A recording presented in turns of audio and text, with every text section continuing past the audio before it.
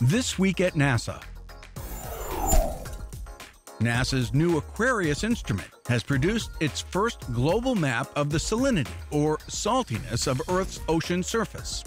Variations in surface salinity are linked to the cycling of fresh water around the planet, affecting ocean circulation and the Earth's climate close to 25 or 30 percent of the surface of the ocean has never even been observed. In other words, we have no salinity samples at all from parts of the world, particularly in the so, so, southern hemisphere, in the South Pacific and the South Atlantic and southern Indian Oceans.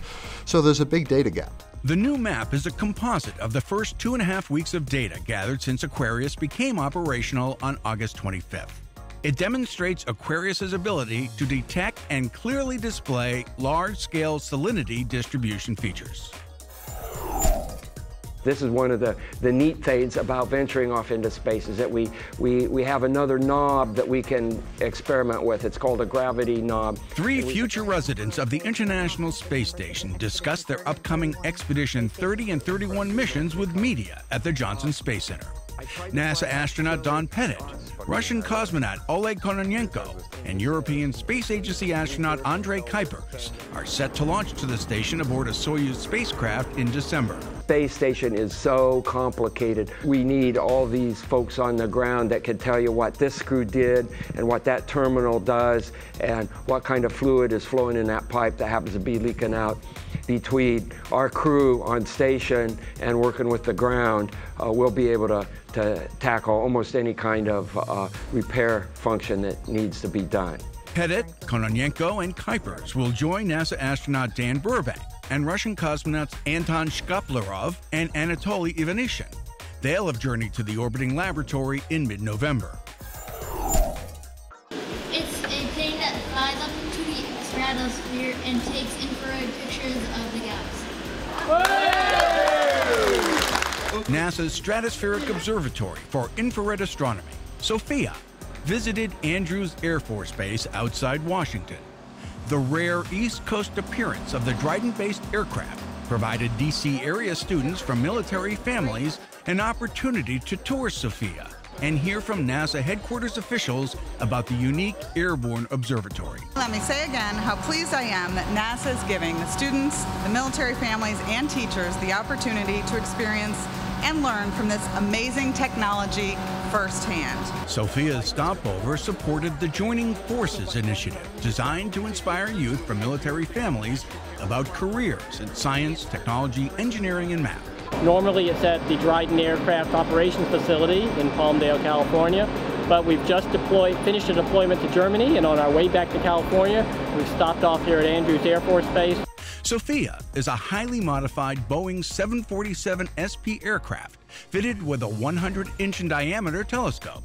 Flying above 99% of the atmosphere's water vapor allows SOFIA to collect world class astronomical data unavailable from anywhere else on Earth that help scientists unlock clues about the history of our universe.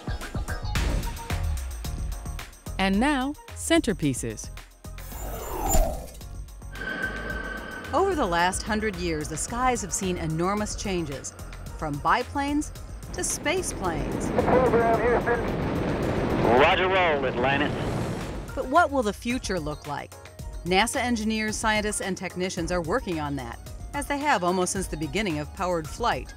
NASA researchers are developing technologies to make aircraft safer, faster, quieter, more fuel efficient, and environmentally friendly and they're designing tools to help the air transportation system accommodate more traffic. NASA space missions always uh, are more high priority and high profile, eh, but our aeronautics work is possibly the place where our work is most seen and felt by the general public on a daily basis. You'll find NASA DNA in nearly every civilian and military aircraft flying today. NASA Administrator and former astronaut and test pilot Charles Bolden spoke at the New Horizons in Aviation Forum in Virginia Beach, Virginia. The two day conference was designed to help promote aviation's opportunities and potential. After Bolden's speech, a university student asked how NASA and the aerospace industry can compete with higher paying software jobs. In NASA, I can compete with anybody because I do the coolest stuff. you know, you see here, I'm going to go ahead and take it out of the, the gear ratio just because. Finding innovative ways to teach students about engineering led a Virginia teacher to NASA Langley Research Center's Rapid Prototyping Lab, where an idea to give students a more hands on experience with simple and compound machines became a reality. Her idea was to build an engineering kit that would make learning about simple and compound machines fun for students and affordable for teachers. Using digital manufacturing, NASA Langley technicians built a prototype kit that could eventually be used in classrooms. What we were tasked to do was create a kit that was able to be highly modular and inexpensive uh, as a prototype to be able to compactly put all six uh, uh, simple machines together and be able to interchange them as the, the age group for the elementary schoolers that we were designing this for um, would be able to experiment with. The polycarbonate kit is compact and offers students a variety of learning opportunities. So you have a lever, you have the gears, you have the rack and pinion, and kids just love seeing things move. And then they can do different things. For, and then if you turn it, you have an elevator with the block and tackle. You have, um, I mean, there's plenty of wheel and axles. Um, you can put weight. You can change the um, ratio, the gear ratio. You can gear up, gear down. As Jones continues work on the engineering kit, it is her ultimate goal to get the kits into the classrooms. This would be tremendous for teachers because it makes learning exciting and fun. And it gives them the hand-on experience that children need. There you go. NASA's Lyndon B. Johnson Space Center in Houston marked 50 years of expanding the frontier of human exploration. The center celebrated the occasion with a special cake cutting for employees by JSC Director Mike Coats. So the next 50 years is going to be even more exciting than the first 50 years, and we're really looking forward to that. A variety of activities planned throughout the coming year will continue the center's golden celebration. It was on September 19, 1961, that NASA announced its new manned spacecraft center would be located in Houston, Texas. In the middle of the Mercury program, Houston welcomed the original seven astronauts to town in 1962. By 1963, construction of the new 1,000 acre Space Center was well underway on land donated by Rice University. The first space flight to be partially controlled from Mission Control Houston was Gemini 4 in 1965. History has been made at Johnson ever since. The center has planned, trained crews, and controlled all NASA human spaceflights, highlighted by man's first landing on the moon during Apollo 11 in 1969, the launch of the first U.S. space station, Skylab, in 1973, the first joint spaceflight between the United States and the Soviet Union in 1975, and the Space Shuttle's three decades of flight from 1981 to 2011. Today, the global operations of the International Space Station are led from Houston, supporting an unprecedented research laboratory in orbit. Johnson also leads development of NASA's next human spacecraft, the Orion Multipurpose Crew Vehicle, that will enable humans to go farther into space than ever before.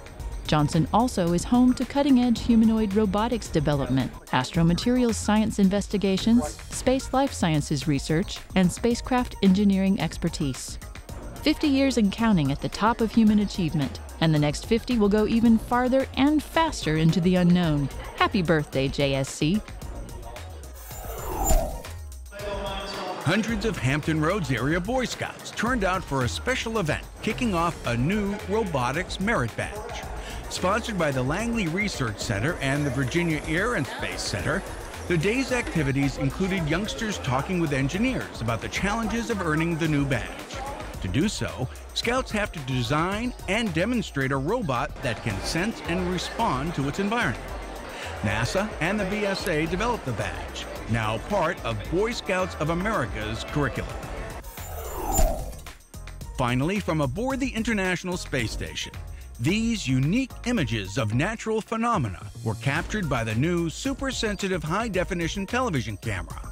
With the help of Commander Mike Fossum, Satoshi Furukawa of the Japan Aerospace Exploration Agency demonstrated the camera during interactive broadcasts with the Japanese network NHK.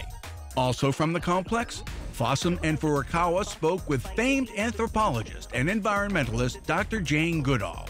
Goodall has been celebrated around the world for the groundbreaking research she gathered living among chimpanzees.